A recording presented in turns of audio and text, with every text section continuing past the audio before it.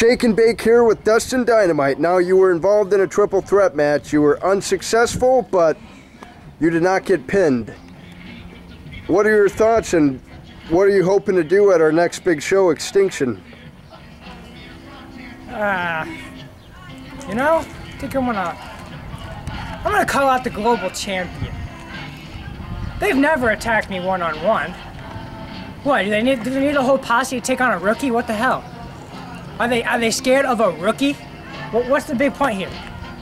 I'm calling you out. Global champion, what's your name again? Who cares? I'm calling you out, that's all that matters. Calling So- Wicked Six out for Extinction? Really? Speaking of, Yeah. You. Honestly, one half the tag team.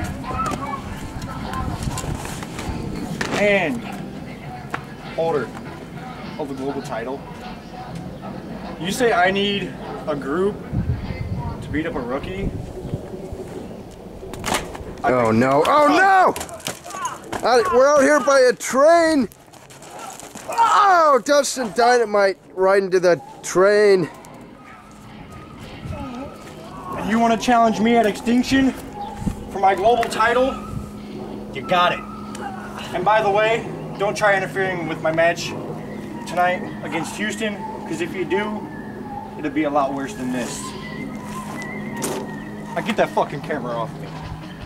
Dustin Dynamite got what he asked for, but I didn't think he expected this. Wow, we'll be back here at capacity. And Dustin Dynamite up to his feet.